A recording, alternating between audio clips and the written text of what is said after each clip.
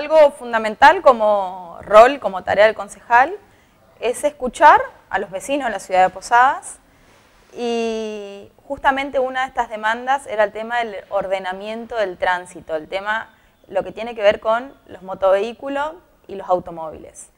Tenemos ya el centro de la ciudad de Posadas delineado, ¿no es cierto?, con los colores, el color blanco que es para estacionamiento de autos, el color eh, verde que es para estacionamiento de motos y el color azul que es para personas con discapacidad.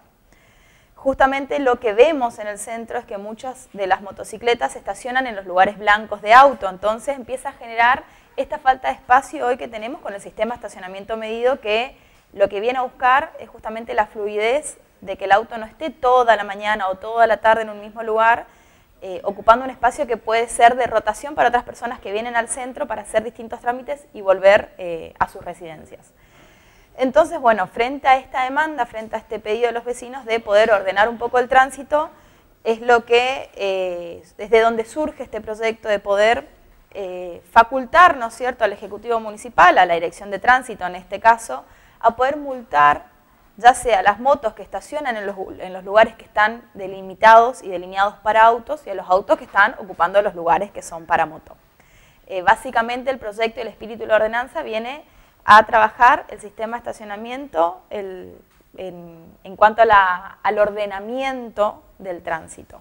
Ponerle un poco de orden, ¿no? Porque eh, bueno, lo que decía que uno ve siempre motos estacionadas en lugar del auto y en su momento el SEM había acomodado bastante el tema del espacio pero después, cuando comenzó a haber espacio, ya la gente comenzó a, parar donde quiere, básicamente. Es así, a veces, muchas veces decimos, somos como hijos del rigor, parece que si no hay eh, alguna consecuencia, tratamos de pasar por arriba de las normas, lo que uno a veces piensa que es lógico.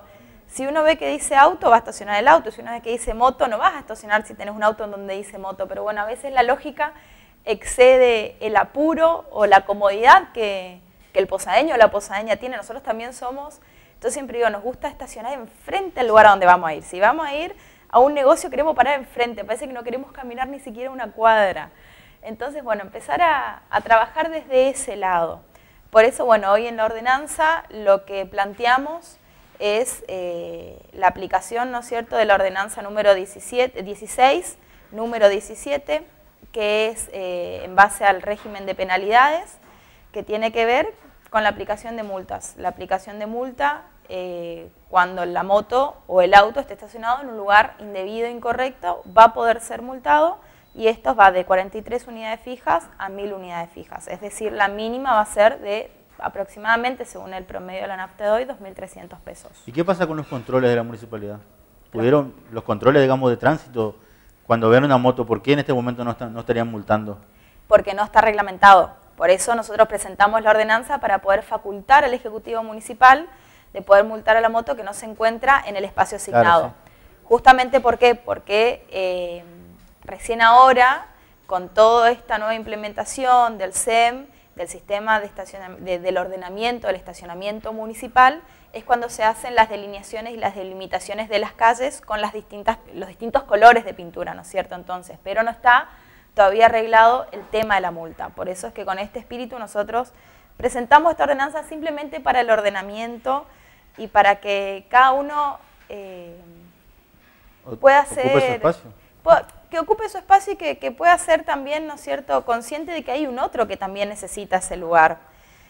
Y muchas veces uno estaciona un auto, la moto a veces la ponen atrás muy pegadita a un auto, el auto se sube, no ve, le choca la moto. Entonces también es para el, para el cuidado de todo, ¿no es cierto? Para también la prevención de, accidentes. Y también una realidad que el auto paga el estacionamiento en Posadas, ¿no? Y la moto todavía no está pagando. Es así, el auto está comprendido dentro de lo que es el SEM, el sistema de estacionamiento medido, que tiene eh, un costo la hora, ¿no es cierto?, dentro de, la cuadrícula de lo que es el centro, y la moto no está, no está contemplado dentro de este sistema de estacionamiento medido, entonces, bueno, también es importante eh, el ordenamiento desde este lado. También importante sería decirle al motociclista que no es una persecución contra ellos, ¿no? porque generalmente sienten que son víctimas de una persecución y en realidad es pensando en todo, como decía recién. No es ninguna persecución, es simplemente el ordenamiento. Hoy por hoy son 88 espacios que están destinados a las motos, que justamente lo que plantea la ordenanza es que esta cantidad de espacios puede aumentar, ¿no es cierto? Ahora nosotros esta ordenanza se va a tratar en la comisión de tránsito. A mí particularmente yo no soy parte de la comisión, no soy vocal dentro de esa comisión, pero claramente como es una ordenanza presentada desde mi banca, eh, tengo que ir a explicar, tengo que ir a contar a, los pares de qué se trata y vamos a invitar claramente a, seguramente a, Talavera, al director de tránsito, seguramente a motociclistas, eh, y bueno, y explicando esto, ¿no es cierto?, de que hoy son 88 los espacios que están destinados al estacionamiento de motovehículos, pero que se pueda ampliar, ¿no es cierto?, en base a la necesidad que tenga el sector de los motovehículos, se puede ampliar la cantidad de espacios, no es que el espacio que hay hoy va a quedar para siempre, si aumenta la cantidad de motos y los motociclistas necesitan más espacio, está contemplado dentro del proyecto. Me quedo con eso que decía recién de que cada uno sepa que el otro también tiene derecho a usar un espacio, ¿no? Como que en Posadas la gente quiere hacer la suya y no importa el que viene, ¿no? Ya tuvimos el caso del, accidente este de las picadas, que dos muchachos haciendo una cosa que no se debe hacer, obviamente, eh, atropellaron a una persona que viene circulando normalmente por la calle.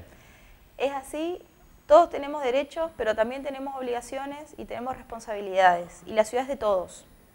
Eh, nuestra casa es nuestra, pero la fuera es de todos. Y tenemos que ser generosos y tenemos que compartir y ser respetuosos del espacio también del otro posadeño y de la otra posadeña. Recuerdo que hace un, dos años más o menos había hablado de espacios de circulación exclusivos para moto. ¿En qué, en qué quedó eso, Anaí? Por el momento no se trató más, por lo menos dentro del Consejo no, no se está tratando, igual es como yo te digo, yo no estoy dentro de la comisión de tránsito, entonces por ahí hay cuestiones que se hablan en la comisión que... Que se escapan a tu, que, que se escapan porque, bueno, yo integro otras comisiones, eh, pero bueno, por el momento, por lo que hablamos con los pares, ese proyecto no, eh, no ha avanzado. Y además del proyecto este que estás trabajando, ¿hay algún otro tema que estés eh, trabajando desde tu banca? Bueno, nosotros ahora estamos, justamente hoy a la mañana estuvimos hablando con Fabián Celaya, el director de epidemiología acá de la ciudad de Posadas. Un tema que a mí en lo personal me, interesa mucho y me, involucro es el tema dengue. Tenemos el FIMPER, que es el Foro Interparlamentario Municipal, que es cuando trabajamos con los concejales de Encarnación. Y justamente lo que estábamos hablando hoy con Fabián era la posibilidad de este FIMPER, de este Foro Interparlamentario, poder generar una actividad en conjunto entre las dos ciudades para eh, que en el momento del IRA, de, la, de cuando se sale a evaluar ¿no es cierto? nuestros índices larvarios en la ciudad de Posadas, pueda hacerlo en conjunto en Encarnación y en la ciudad de Posadas en simultáneo. ¿Por qué? Porque podemos ser dos ciudades distintas, de dos países diferentes, pero somos prácticamente uno. ¿sí? El, el tránsito vecinal fronterizo que tenemos hace que seamos prácticamente una gran ciudad. Entonces, para nosotros, eh, lo que decíamos, hablamos hoy con Fabián, la importancia de poder trabajar en conjunto con Encarnación, este tema que es fundamental, que es un tema que a veces uno no toma conciencia, pero es de vida o muerte. ¿sí? O sea, el dengue es una enfermedad endémica, ¿sí? ya llegó hoy por hoy para quedarse en lo que es la provincia de Misiones. Entonces es trabajar, es ir ganando batallas, ganar la guerra hoy por hoy es muy difícil, pero bueno, seguir trabajando en prevención constantemente, en lo que es concientización y poder trabajar entre los dos países es fundamental, porque podemos tener una ciudad, Posadas o Encarnación puede ser una ciudad sumamente limpia, pero si la otra ciudad no está en las mismas condiciones, eh, el mosquito y la enfermedad eh, se traslada, sigue viajando y, la enfermedad sigue estando vigente y sigue estando presente. Entonces es un trabajo que lo tenemos que hacer en conjunto, así que bueno, eso es un proyecto que tenemos ahora eh, de cara a los próximos meses y todo sale bien. La idea que hablamos con, con Fabián es ver si lo podemos implementar en, en la toma del IRA de, de septiembre o si no a más tardar en la de diciembre poder hacerlo en simultáneo.